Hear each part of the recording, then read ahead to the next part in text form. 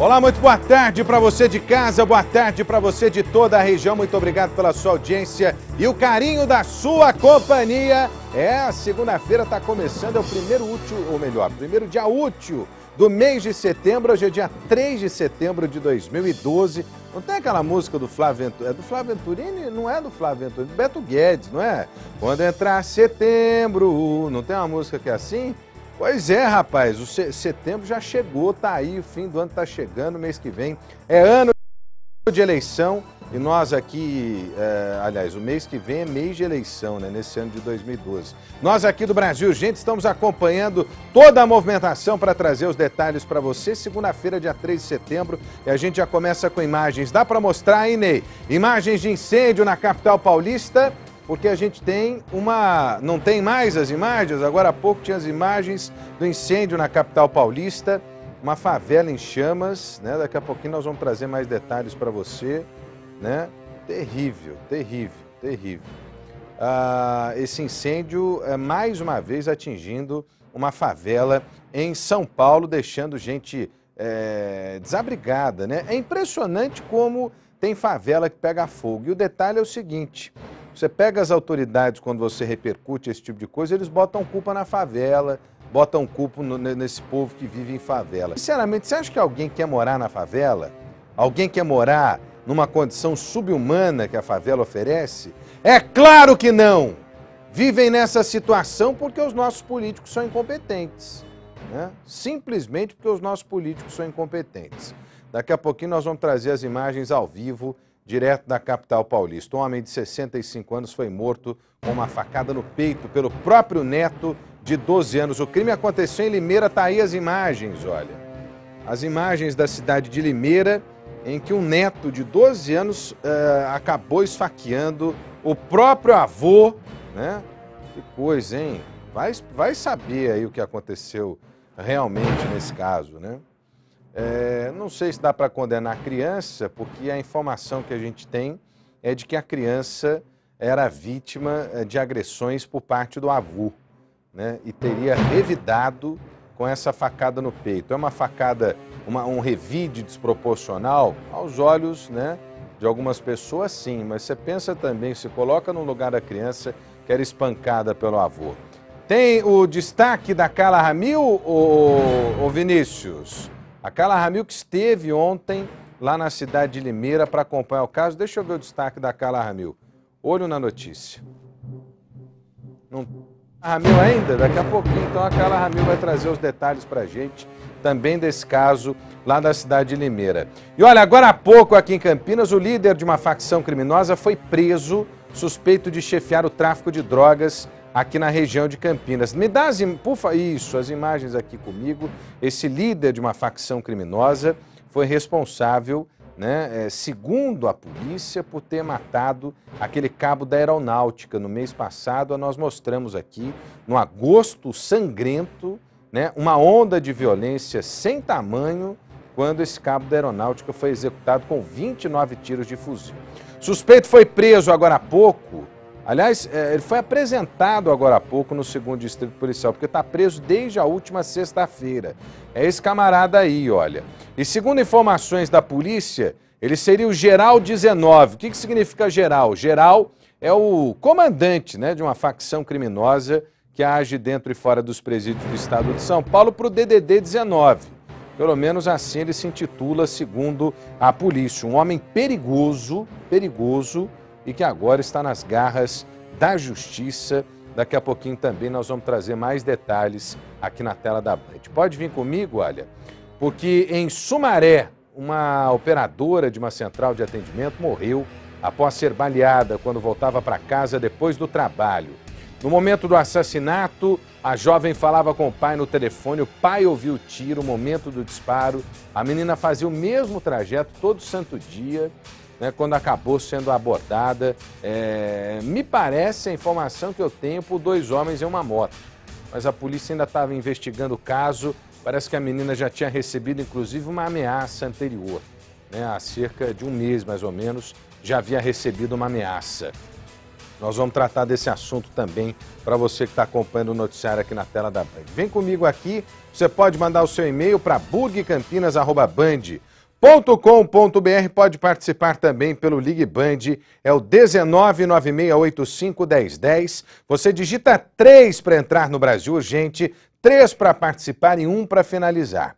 3 para participar e 1 para finalizar, além do Ligue Band, onde você também concorre né, nos nossos concursos culturais, a gente tem o torpedão. Deixa eu ver o torpedo da Band aí, por favor, Ney. É BR de Brasil, a sua informação e o seu nome para o número 72250. BR de Brasil, a sua informação e o seu nome para o 72250, 31 centavos mais impostos. Você pode mandar quantas mensagens você quiser aqui para gente. Pode vir comigo. E agora preste atenção, se você anda precisando renovar a sua cozinha, nós vamos dar um jeito. É, Brasil Urgente continua com o concurso Cantinho Marabras e nós vamos sortear nesse mês de setembro móveis para sua cozinha. Gostou, não é? Então participe. É só ligar 96851010, você digita 3 para o Brasil Urgente, Três para participar e, na sequência, dá uma dica de receita para comemorar a chegada da estação mais florida do ano. É a dica mais criativa ganhar armários e uma mesa com quatro cadeiras. Todo mês o Cantinho Marabras vai dar uma nova aparência à sua casa. Aproveite e renove a sua cozinha com a Marabras. Lojas Marabras, preço menor, ninguém faz. 9685-1010 é o Ligue Band. Você pode participar e deixar para cá a sua informação, tá bom? Grava com a gente. É o mês de setembro, já chegou. O mês de setembro tá aí, meu camarada. E você pode faturar aqui no nosso concurso cultural. O motorista ah, foi preso pela polícia. Ele transportava maconha em saco de carvão. Nós começamos a acompanhar essa ocorrência na sexta-feira. O que mais chama a atenção é que a nossa região está na rota né, de uma quadrilha especializada em distribuir grande, tonel... grande quantidade de maconha. Três toneladas da droga foram apreendidas. Tá tudo pronto aí? Vou chamar, hein? A Carla Ramil tem os detalhes. Vem comigo aqui. Olho na polícia. A polícia encontrou o caminhão com a droga depois de denúncia anônima. O veículo, que apresentou problemas mecânicos, estava parado em um posto de gasolina na SP 346, no sentido Aguaí. O motorista e proprietário do caminhão, Altair de Oliveira Alves, de 29 anos, foi preso em flagrante. Na delegacia, ele confirmou que fazia o transporte de fachada de uma carga de carvão. Dentro de cada embalagem do produto foi encontrado um tijolo de cerca de 5 quilos de maconha. O conteúdo foi levado a um galpão da prefeitura onde foi pesado.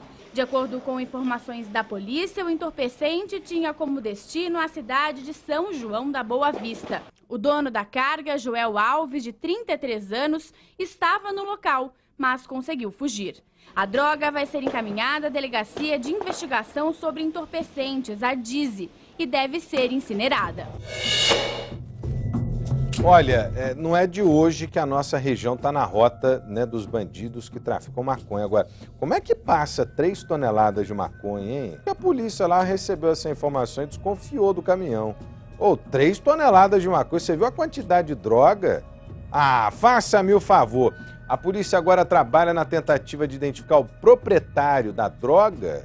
Essa droga certamente iria abastecer aí as bocas de fumo da nossa região colocando a nossa sociedade em risco, né? porque os traficantes disputam território, matam, mandam matar, a população fica no meio do fogo cruzado, isso quando você não tem aí o seu familiar, o seu parente destruído pelo consumo da droga. Porque tem isso também, né? Tem isso também. Vem comigo aqui, olha. Uma mulher é presa acusada de matar o marido, um policial militar. O crime aconteceu em Várzea Paulista. Ela já apareceu no Brasil, gente desesperada, em busca do homem. Aí afirmou a polícia que queimou o marido porque estava cansada de sofrer agressões. O repórter Peterson Isidoro tem os detalhes e traz pra gente. Tá, presta atenção, a mulher premeditou, matou o marido, botou fogo no corpo do marido, um policial militar. Parece que ela contou com a ajuda de um camarada aí que integrava uma facção criminosa. Deus do céu. Peterson Isidoro, aqui ó, olho na notícia. Depois de 15 dias desaparecido, o corpo do soldado Alan Carelli foi encontrado pelos policiais numa região de mata fechada aqui em Várzea Paulista. E a gente percebe aqui em cima da mesa, a gente vai pedir para o Varela, o nosso cinegrafista, abrir a imagem, Varela. Olha, tudo isso aqui foi encontrado no local bem próximo ao corpo. A gente vai conversar com o delegado Antônio Dota Júnior, que foi o delegado que investigou todo esse caso. Por quê? Porque foi com esse remédio, o senhor estava me explicando, o delegado Dota, que a Cassiana dopou o soldado Alain, foi mais ou menos isso? Exatamente. Ela ministrou toda a quantidade desse remédio, ele ficou dopado, e assim que ele ficou dopado, ela disse que iria socorrê-lo ao hospital, o que favoreceu a ajuda para levá-lo até o local que ela já havia premeditado. Nesse local, mediante a gasolina, ela teou fogo no corpo e no colete. E o interessante é que ela tem o fogo nele ainda vivo, né? Então, com requintes de crueldade, sem chance de defesa a ele, e ainda vivo, ele correu em direção à mata com o corpo em chamas. Após esse fato, ela largou esses objetos no local. Isso aqui, o material, né? A arma. A arma, o cinturão, certo?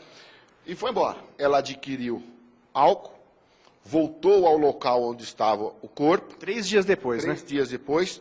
E ateou, tentou atear fogo no coldre, ficou com medo de atear fogo na arma. E sim, o que ela fez?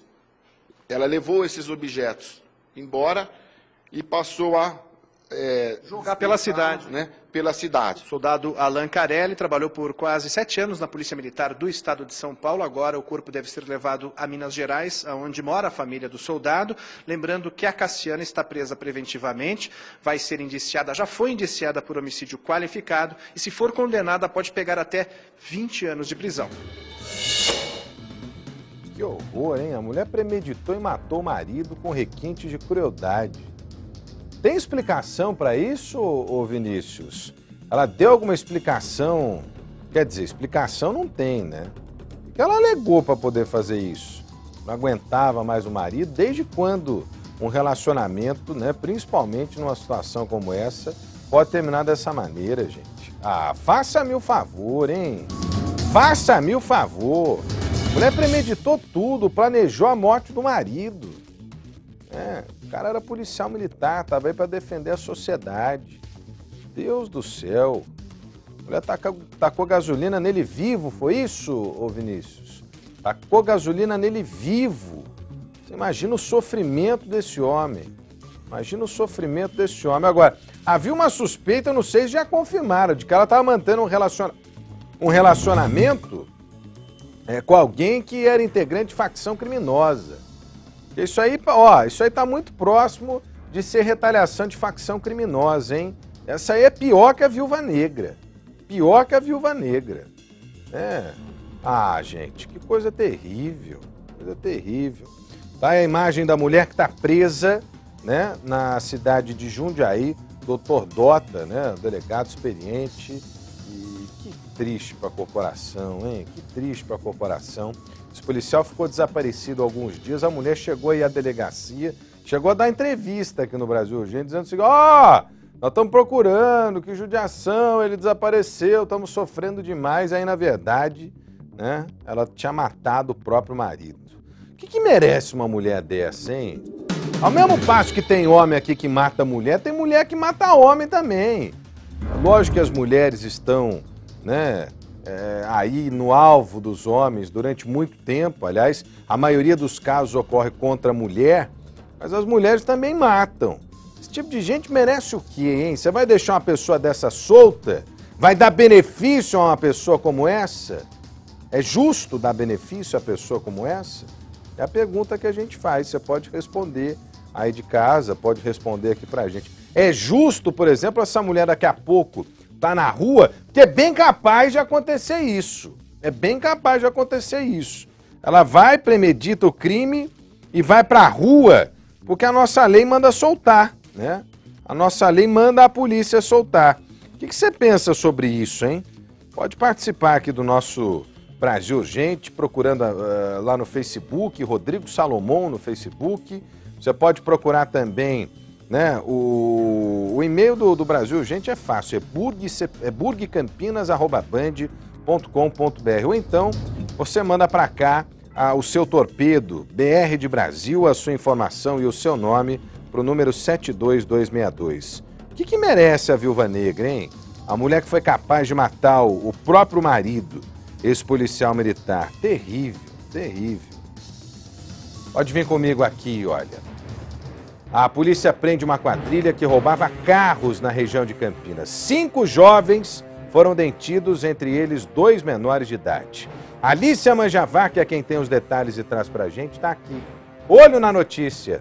Era com uma pistola de brinquedo e uma cartucheira em péssimo estado de conservação que uma quadrilha agia na região de Campinas.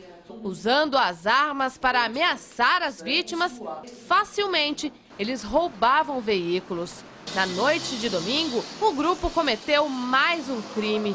Usando este carro, que foi furtado no sábado no Jardim Itatinga, em Campinas, eles percorreram 30 quilômetros até Indaiatuba. Lá, por volta da meia-noite, roubaram este outro veículo. Mas quando voltavam para Campinas por uma estrada vicinal, foram flagrados por policiais militares. Eles entraram na rodovia, começamos a acompanhá-los, solicitamos os apoios necessários, fomos fazendo o cerco. Na fuga, os criminosos que estavam neste veículo bateram em uma ribanceira. Já os bandidos que estavam neste outro carro conseguiram ir um pouco mais longe, mas também acabaram atingindo uma cerca. E ao tentarem entrar no, no Jardim São Domingos, também erraram a curva e entraram no mato, onde foi possível detê-los. John Meires dos Santos, de 22 anos, Jonatas Luarte Ferreira, de 18 e Jaquiel Silva Amorim, de 19, foram presos. Dois menores de 16 e 17 anos foram apreendidos.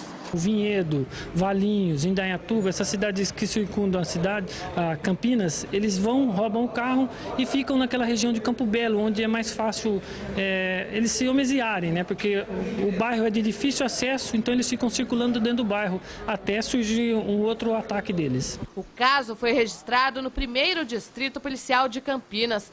Recuperados, os dois veículos roubados foram devolvidos às vítimas.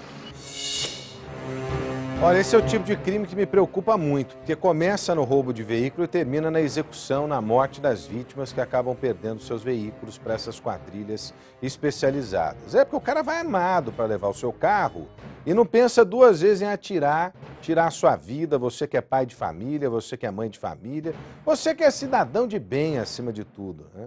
Você está na mira desses caras aí o tempo todo. E olha, outro dia nós mostramos aqui que a lei é tão branda para esse tipo de gente que o cara rouba num dia, paga a fiança, tá na rua no outro dia, e aí no outro dia mesmo ele já bate na porta da delegacia de novo, preso pelo mesmo tipo de crime. Ah, faça-me o favor, hein? Faça-me o favor. Ah, assim não dá, meu. Assim não dá.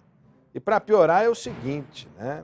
O comércio de peças irregulares ainda é uma realidade. Tem até fiscalização da polícia, um trabalho que está sendo feito pela Delegacia Seccional aqui de Campinas. O problema é que ainda há mercado para essas peças paralelas. Eu repito sempre, quem compra, quem é receptador de peça roubada, é tão criminoso quanto o cara que vai e rouba, que mete a arma na cabeça de alguém. É tão criminoso quanto. Não compre peça sem origem.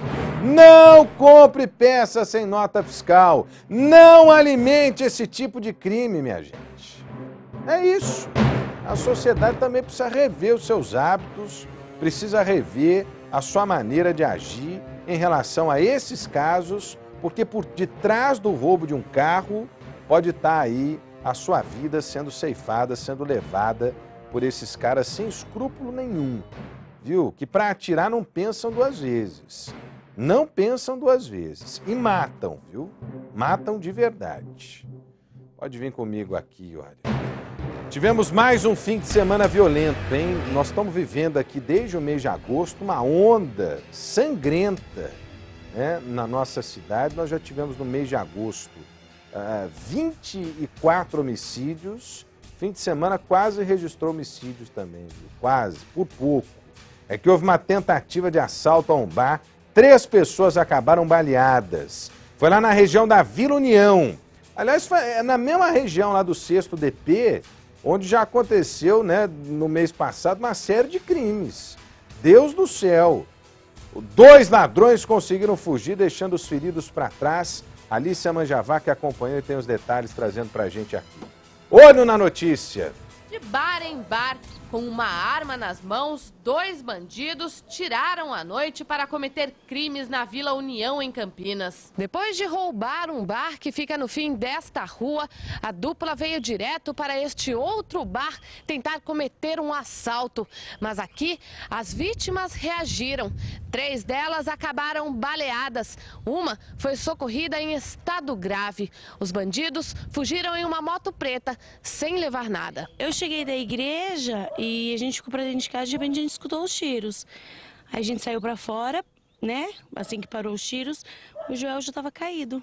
De acordo com os moradores do bairro, uma das vítimas foi baleada quando foi avisar que o bar vizinho havia sido alvo de criminosos. É difícil ver isso, gente. Eu, não, eu nunca tinha visto isso. A polícia foi chamada e apreendeu três máquinas caça-níqueis que funcionavam neste bar. Nesta segunda-feira, os dois comércios amanheceram de portas fechadas. No bar do Mineiro, havia marcas de sangue no chão e uma sacola com roupas também sujas de sangue.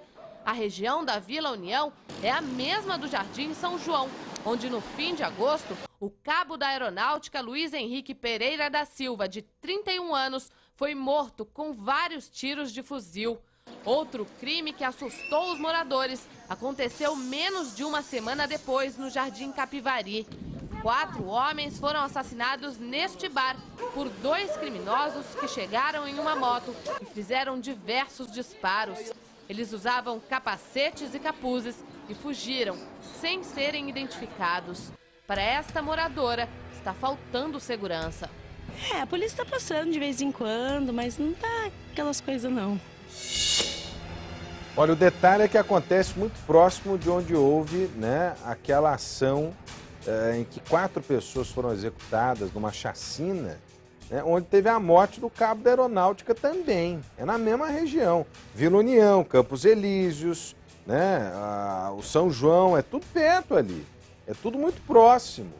Na região da Avenida Moreiras. E aí, meu camarada? É insegurança que não acaba mais. Aliás, sobre a insegurança, tem um monte de comentário aqui, olha. Deixa eu mandar um abraço é, para Maria, também abraço para o Antoni, para Márcia, para o Marcelo, para o Mário. Né? A Regiane está mandando uma mensagem aqui no Facebook. Stephanie, põe para mim aí, fazendo favor, Facebook, barra Rodrigo Salomão. Não consigo te acionar, aliás, te adicionar, mas você pode mandar mensagem para mim que eu consigo ler aqui nos estúdios da Band News. Ah, boa tarde, Rodrigo Salomão. Ah, é da Regiane, Regiane que está participando aqui. Ela também está comentando aquela questão do cachorro cabecinha que morreu. Ela disse que ficou com muita dó. Até quando ela pergunta aqui? É tanta violência e tanta intolerância. Ah, intolerância é um negócio impressionante, né?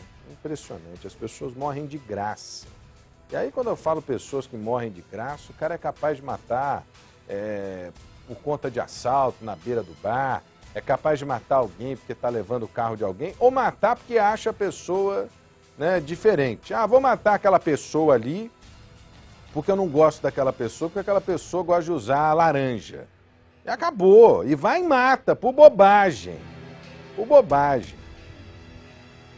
Deus do céu. Olha, é, nós tivemos um fim de semana violento, esses três homens aí baleados, um estava internado em estado grave até pouco tempo, né? mas não só Campinas, pode vir comigo aqui, Ney, a cidade de Sumaré também viveu um fim de semana muito violento. E uma operadora de uma central de atendimento morreu depois de ser baleada quando voltava para casa depois do trabalho. Essa história é terrível por quê? Porque a menina, ela tinha o hábito de voltar para casa sempre da mesma maneira. Ela saía da empresa que fica aqui em Campinas por volta das nove da noite do trabalho, seguia até a cidade de Sumaré, se eu não me engano, no Jardim Calegari.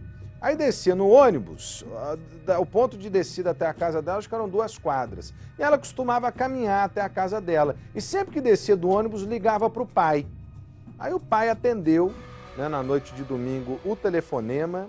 E aí, nesse telefonema, no momento em que a menina dizia que estava voltando para casa, ele saiu ao encontro da menina, ele ouviu um estompido, né? era um tiro, o tiro que matou a jovem, né? um tiro ainda sem explicação, um tiro misterioso né? e que está deixando todo mundo lá é, completamente arrasado, completamente arrasado. A jovem falava no telefone com o pai quando foi executado. Pensem nisso, pensem nisso. Deixa eu ver a reportagem da Alicia, tá aqui, ó. Olho na notícia. Era noite de sábado. A operadora de call center, Rivânia da Conceição Campos, de 22 anos, voltava para casa depois do trabalho. Na saída, amigas tentaram convencê-la a pegar o ônibus com elas, mas como estava cansada, Rivânia preferiu ir sozinha em uma condução que faria o trajeto mais rápido.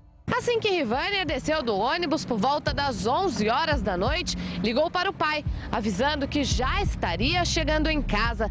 Mas a ligação foi interrompida no momento em que ela foi baleada. Eu atendi o celular, assim que ela só falou pai, aí o celular cortou a ligação. Foi a hora que eu, ela tinha a pessoa tinha atirado nela. Sem saber o que havia acontecido, seu Rivaldo aguardava ansiosamente por notícias da filha. As horas se passavam e o desespero aumentava, até que policiais militares chegaram à sua porta. Aí me perguntaram, né, se eu estava esperando alguém. Eu falei que estava, estou esperando a minha filha. Ele falou, como é sua filha? Eu falei, ah, minha filha é alta, cabelão, meio fortinha. Naquele momento, a vida de seu Rivaldo perdeu o sentido. Sua única filha tinha sido baleada na cabeça e na mão. Rivânia chegou a ser socorrida ao pronto-socorro do Parque das Nações, mas não resistiu aos ferimentos e morreu. Corpo da operadora de call center foi velado durante toda a manhã na igreja em que ela frequentava. Emocionado, o pai dela pede para que as testemunhas do crime liguem para a polícia para dar informações dos criminosos. A pessoa muitas vezes tem medo de falar ou não quer falar para não se comprometer. E que pelo menos faça uma denúncia anônima, entendeu? Ah, ligue para a polícia ou para a televisão, que nem vocês, que a Bandeirante está aqui fazendo essa reportagem, ligue para vocês. Que se não quiser falar para mim ou para a mãe dela, que ligue para o órgão. Pelo menos que não aconteça com outras pessoas. Não, que não aconteça com outras pessoas. Duro pro pai, hein? O pai estava esperando a filha em casa, aí houve um, um barulho de tiro no telefone, que eu estava falando com a filha, encontra a filha morta. Olha, para a gente respirar fundo e parar para pensar nessa violência que, infelizmente, né, tira a vida de pessoas inocentes. A menina não tinha. Olha, era uma menina exemplar na igreja, né, na comunidade. Aliás, eu quero mandar um abraço aqui para a Sônia. Ontem eu conversei com a Sônia. A Sônia de Sumaré, ela estava é, completamente anestesiada diante da informação dessa morte, né? Parece que ela conhecia a menina, o filho da Sônia também conhecia a menina. Essa morte em Sumaré é, chocou a todo mundo, chocou a todo mundo. E olha, tem uma informação aí que precisa ser apurada pela polícia e por isso as ações das testemunhas são muito importantes, porque parece que essa menina aí já tinha sido ameaçada, hein? Parece que ela já havia sido ameaçada. A polícia ainda não sabe dizer se o caso tem a ver com ameaça ou se ela foi vítima de um latrocínio, mesmo porque o telefone dela foi levado. Não é isso, Vinícius? O telefone dela foi levado pela pessoa aí que atirou nela. Só que a, ela também já tinha sido ameaçada, parece que por uma ex-colega de trabalho com quem ela não se dava muito bem. A polícia vai fundo nessa investigação, mas precisa da ajuda de testemunhas. Então, então se você tem alguma informação, tem algo que você possa dividir com a polícia, entre em contato com a polícia, né, no 181, que é o disco de denúncia da Polícia Civil. Você pode participar também é, dando a sua contribuição na resolução desse crime no 3236-3040, que é o disco de denúncia aqui para Campinas. Ah, tem muita gente reclamando da violência aqui. O... A Thaís está dizendo o seguinte, olha. Está abrindo aqui a mensagem da Thaís. Para mim tem que ter mais segurança. É, absurdo, diz aqui a Thaís. Obrigado, viu, Thaís, pela participação aqui no Brasil Urgente para Campinas e também para toda a nossa região. O Jorge também está participando. A Daniele está né, tá falando da insegurança aqui, diz que teve que vender uma casa por conta do tráfico de drogas que rolava em frente da casa dela. Que terrível, hein? A Dayara manda um alô aqui, Rodrigo, para Bragança Paulista. Alô, Bragança Paulista. Obrigado pela audiência em Bragança Paulista, em Jundiaí, aqui em Campinas, em tudo quanto é lugar. Essa gente que está acompanhando conosco o Brasil Urgente para Campinas e também para toda a nossa região.